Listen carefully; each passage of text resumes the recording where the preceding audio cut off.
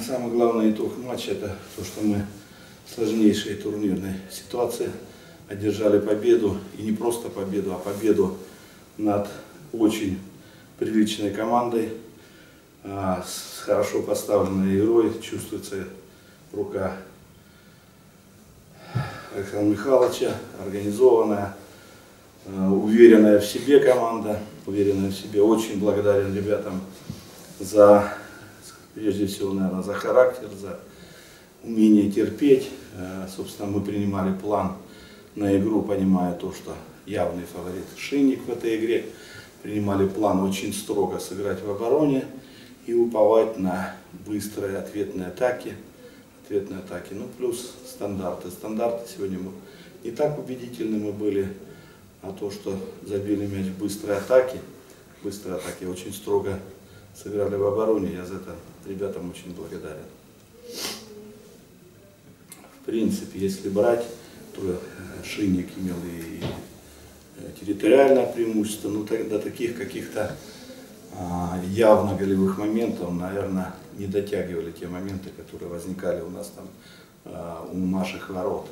Наших ворот. А, а мы имели еще при счете 1-0 э, во втором тайме Чкапеля должен был в середине второго тайма решать судьбу матча. Ну, скажем так, проще бы было немножко. А так нервная концовка, естественно, что Шинник уже перешел где-то в какой-то степени на навал, на навал все. Ну и благо то, что выдержали, выстояли, за что я очень, очень благодарен ребятам. Вы хорошо сказали, рука Сам Михайловича, он потянул вам уже перед игрой, отдал свою энергию, и вы вдохновились.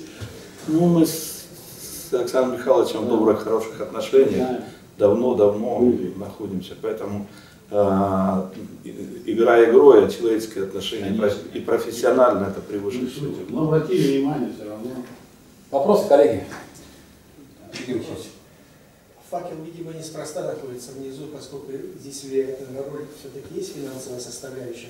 Команда хорошая, город футбольный, и вам не гоже опускаться во вторую низшую лигу. Поэтому, видимо, есть финансовая составляющая отношения властей вот, к команде по сравнению с прошлыми годами.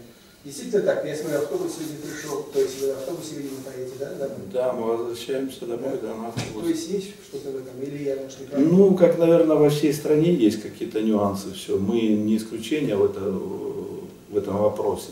В этом вопросе есть, но руководство клуба, президент клуба все пытается сделать для того, чтобы стабилизировать ситуацию. Так определенная сложность есть, конечно. У вас контракт вот... Э, и а у, меня, у меня контракт 31 мая 2018 года заканчивается. Ну а то, что вы задали вопрос, причина, что мы оказались в такой ситуации, она, э, я уже неоднократно говорил, да, все, когда уходит практически вся команда, 19 человек покидает, и практически новая команда, многие ребята на уровне даже второй лиги не все играли, да, и сложно воедино свести, для этого нужно время, определенный уровень мастерства у игроков, все. Ну, ребятам я очень благодарен, они все делают от них зависящее в тренировочной работе и в играх. Где-то сложновато нам все, но то, что мы исправим ситуацию, у меня нет сомнений никаких, я не сомневаюсь ни в ребятах, ни, ни в себе, ни, я думаю, что исправим ситуацию. Ну, вы все понимаете.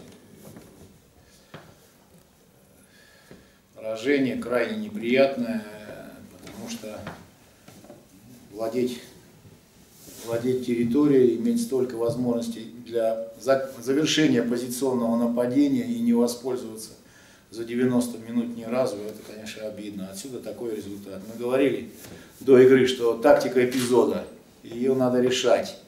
Один эпизод может возникнуть, и его нужно решить в свою пользу. Вот проиграли эпизод с поднятой рукой, с определением собственным игроком положения вне игры, проиграли ситуацию, когда было ясно в раздевалке, что два нападающих Мащина Хапели, а это игроки, которые скорость и за линию обороны. К одному эпизоду оказались не готовы, в результате потом исправить, когда уже факел ощерился, когда факел почувствовал, что есть возможность увести очки, отсюда э, скрыть позиционное нападение не получилось, потому что не хватило мастерства, э, изюминки, импровизации последнего паса, ну и может быть немного фарта. Страшное разочарование от этого результата, потому что не воспользовались благоприятной ситуацией по турнирной таблице. Вопрос? Есть Александр Николаевич, э, по ходу сезона второе поражение команды, которая находится в последнем месте, да, был Тюмень у нас, это недонастрой либо что-то? Нет, недонастроем быть не могло. Мы сразу после Олимпийца об этом говорили и всю неделю, вернее все эти три дня ребятам говорили, что ни в коем случае не надо смотреть на турнирное положение факела.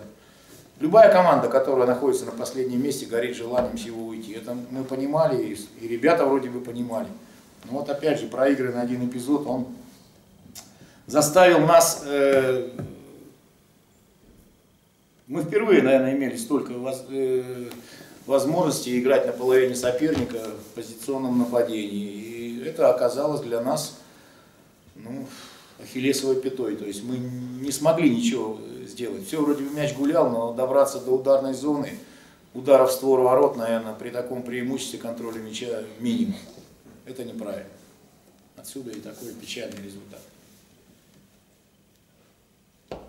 Вопрос? Изменения в составе, то, что дали Крамаренко и Марич, как вы их оцениваете? Ну, во-первых, у нас были проблемы после э, кубковой игры. Мы не могли использовать Безлихотного, у него травма. Не могли использовать э, Фатихова.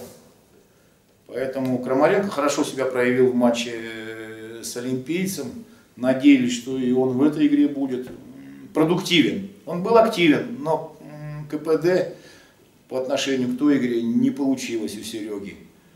Э, Мара, наверное, наверное, выложившись в игре с Олимпией, не был сегодня так свеж. Э, Те же самые стандартные положения были у него, шли у него через один, то есть стабильности не было. Ну вот возможности, сегодня как раз возможности большой варьировать составом у нас не было.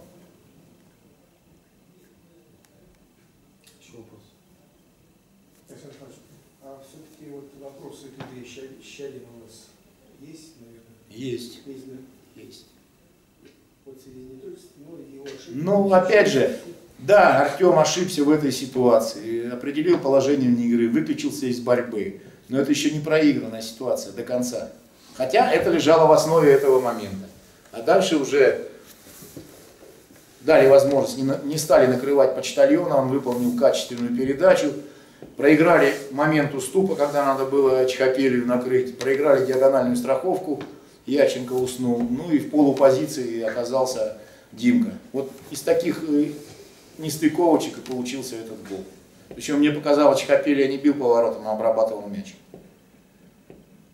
Может быть, я ошибаюсь. Замена Яченко на Гермазова тоже просто усилить атаку или. Усилить атаку. Усилить атаку. И у, Гер- у Гермазова побольше было силенок. Женька что-то в последних эпизодах запарил э, несколько э, потерь мяча абсолютно неоправданных. И а как Гермазова качественно, сильная, вот такая, знаете, прострельная передача. Ему задача была ока- оказываться как можно больше во фланге и выполнять вот эти передачи низом, сильные, полуфланговые, так называемые, на ближнюю штангу. Пара раз у него получилось, но больше мы не смогли выжить.